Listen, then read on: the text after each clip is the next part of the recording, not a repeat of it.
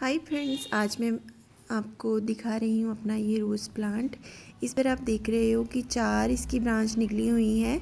तो बहुत सारे ऐसे लोग होते हैं जिनको सक्कर्स की पहचान नहीं होती है, जो ग्राफ्टेड रोज़ होता है, उस पर इस तरह की ब्रांचेस निकली रहती हैं।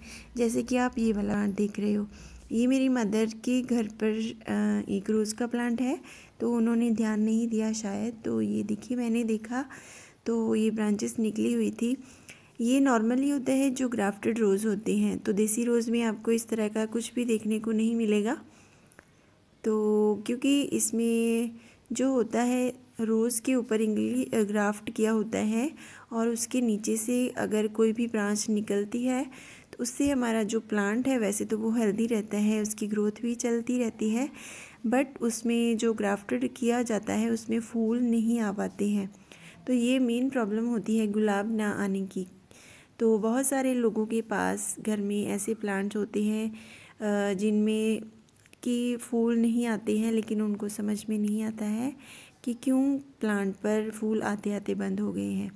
तो आप हमेशा ध्यान रखें, इस तरह के जो भी सक्कर्स निकले, उनको तुरंत ही काट दें, क्योंकि ये धीरे धीरे आपके जो प्लांट की ग्रोथ तो होने देता है, लेकिन उस पर जो फूल आते हैं, उनको आना बंद कर देता है। तो इस प्लांट पर भी कुछ ऐसा ही हुआ है। तो देखते हैं कि इस पर अभी रोज़ आते हैं या नहीं। तो ये काफ़ी पुराना प्लांट है और इस तरह से मैंने चार ब्रांचेस इसकी निकाली हैं।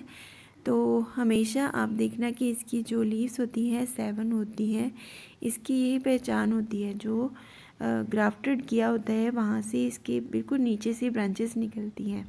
तो इस तरह से मैंने इन चारों को कट कर लिया है। और इसके ऊपर देखिए आप कितनी इसकी हाइट होगी, लेकिन फिर भी इस पर कोई भी जो फूल है, नहीं निकला है, ना ही कोई फ्लावर बंड है। इसी तरह से और भी कुछ एक दो प्लांट है, मैं उनको भी दिखाती हूँ।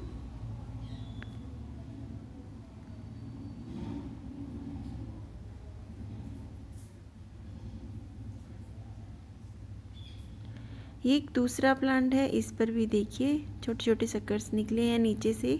ये बिल्कुल रूट्स के नीचे से निकलते हैं। इसकी ये मेन प्रॉब्लम होती है, अगर आप इसको कट करते हैं तो जैसे ही आप कट करते हैं, इसमें से दो दो तीन तीन चक्कर और डिवेल्प होने लगते हैं। तो मेरे साथ भी ये प्रॉब्लम होती है। ये आप देख रहे हो, यहाँ से ग्राफ्ट किया हुआ है। पॉलीथीन आपको हल्का सा नज़र आ रहा होगा। तो इसके नीचे से जो भी ब्रांच निकलती है, उसको हमेशा ध्यान में रखें और उसको तुरंत ही कटिंग कर दें। तो देख सकते हो आप इसकी हेल्थ कितनी अच्छी है और एक ये और रोज़ का प्लांट है। इस पर फ्लारिंग स्टार्ट होने वाली है बर्ड्स बनी हुई है। लेकिन इस पर भी नीचे एक छोटा सा शक्कर निकला हुआ है तो इसको भी मैं अभी हटा देती हूँ। तो आई होप आप लोगों को मेरी आज की ये वीडियो हेल्पफुल लगेगी। तो वीडियो को लाइक शेयर कमेंट करना मत भूलें। फिर मिलेंगे नई वीडियो के साथ।